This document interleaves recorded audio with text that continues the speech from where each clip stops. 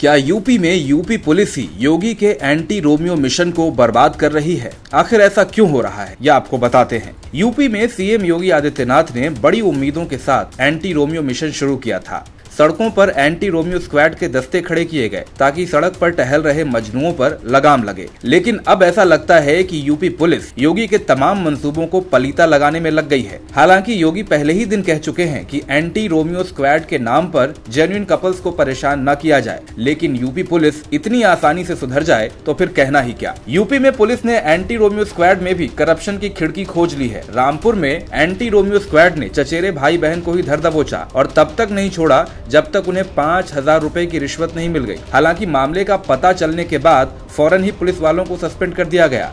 लेकिन ये खबर अपने आप में योगी के लिए खतरे की घंटी है। एंटी रोमियो स्क्वाड के नाम पर पुलिस वालों के पास एक ऐसी पावर ट्रांसफ़र की गई है, जिसका इस्तेमाल अगर वो अच्छे तरीके से करें तो इससे बेहतर कुछ नहीं हो सकता। लेकिन इस बात की उम्मीद बेहद कम ही दिखती है। योगी सरकार के पहले दस दिनों में ही एंटी रोमियो स्क्वाड के नाम पर चचेरे भाई बहनों पर दबिश, अलग ही कहानी कहती है। कुछ लोग तो ये भी कह रहे हैं कि अब यूपी की सड़कों पर शादीशुदा जोड़ों को भी अपना मैरिज सर्टिफिकेट लेकर घूमना पड़ेगा। साफ़ सी बात है कि पुलिस को इस मामले में सख्त ट्रेनिंग दिए जाने की ज़रूरत है। अगर पुलिस ने इसे सब धान बाईस पसेरी की तर्ज पर तोलना शुरू किया तो फिर हालात बिगड़ने में ज़्यादा वक्त नहीं लगेगा। हालाँकि पुलिस के साथ मीटिंग में योगी ये संकेत दे चुके हैं कि वो किसी भी तरह की ढिलाई बर्दाश्त नहीं करेंगे। लेकिन अब देखना होगा कि योगी की लगाम कहाँ तक काम आती है। इंडिया न्यूज़ वायरल की रिपोर्ट।